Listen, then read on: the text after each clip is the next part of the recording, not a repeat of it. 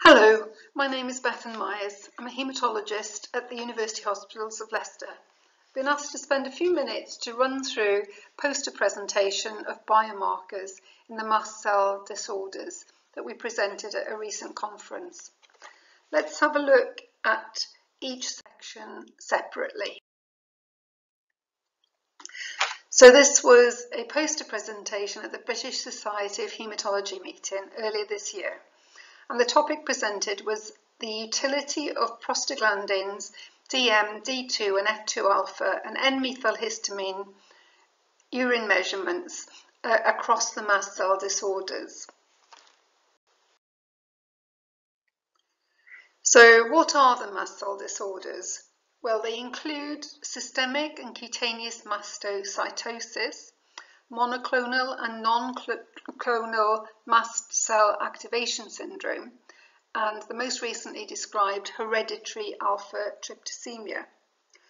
When we're thinking about biomarkers, serum tryptase is the easiest to measure because it's a stable substance.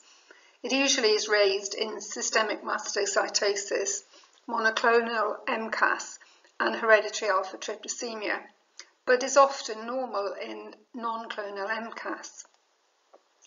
Abnormalities in the levels of the urinary prostaglandins and N-methylhistamine are an alternative way to demonstrate abnormalities of the mast cell activity for all of the mast cell disorders.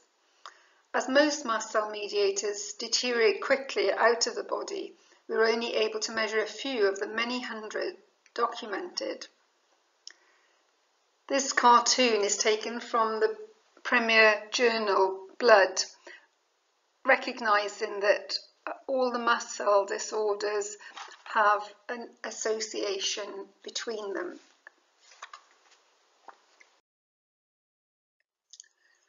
Prostaglandins are present in preformed granules in mast cells and may be activated either by IgE or non-IgE mechanisms. Prostaglandin D2 is unstable, has a very short half-life and is broken down to primarily prostaglandin F2 alpha very quickly.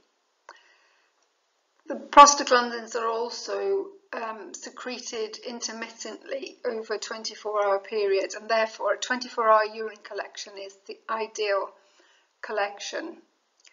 Although if a patient is symptomatic, a spot sample may be informative. Mast cells themselves are also heterogeneous. Not all contain the same granules. They are complex, multifunctional master cells of the innate immune system and line the passageways and cavities in the body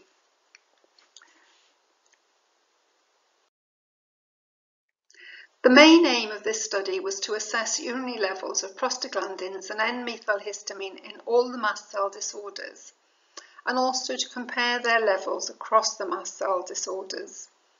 In addition, we assessed the importance of keeping samples chilled throughout the collection and in transit.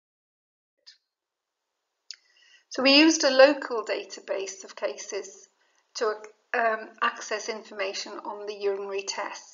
These were available in 94 of the 145 patients who had been tested.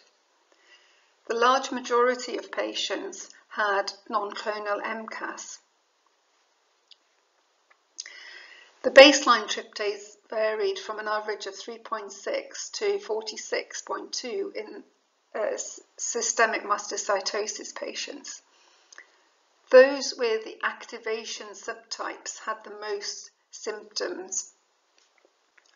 There was a wide age range included in this study. So this table um, summarises the results. And if we look firstly at the prostaglandin results, you can see that in the systemic mastocytosis group, all patients had at least single positivity uh, present of prostaglandins and 100% of patients had positive N-methylhistamine in the urine. With the monoclonal MCAS, which was a very small number of patients. 50% had triple positivity and 50% had double positivity, but none demonstrated N-methylhistamine. The non-clonal MCAS patients represented the largest group in the sample.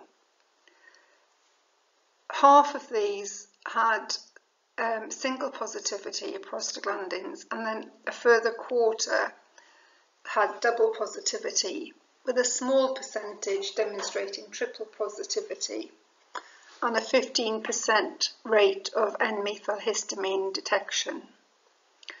Hereditary alpha-tryptasemia demonstrated positivity in 60% of prostaglandin tests, with the majority being double or single positivity. We, we did not demonstrate any positivity in the N-methylhistamine group. Cutaneous mastocytosis being limited to the skin did not uh, demonstrate any abnormalities in the urinary tests. So then thinking about those that were negative for either prostaglandins or N-methylhistamine, they were generally spot samples rather than 24-hour collection samples. And when these were repeated as a 24-hour collection, they uh, were positive, suggesting that um, we had missed the release of the substances with a spot sample.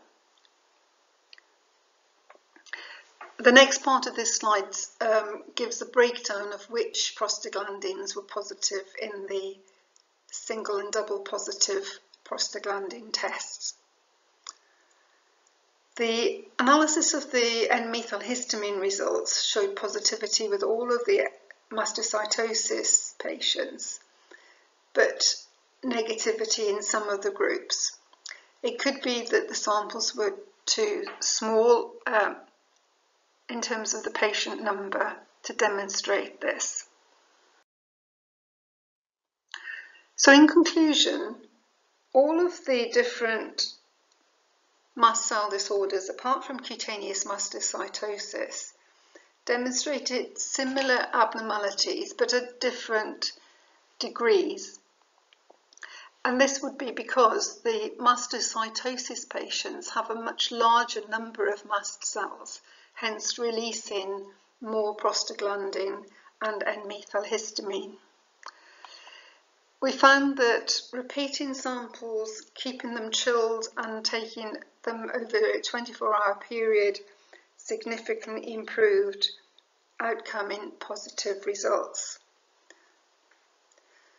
In conclusion, therefore, this study supports the similarities in biochemical abnormalities across the mast cell disorders, whether they be mast cell activation or mastocytosis or hereditary alpha-tryptasemia.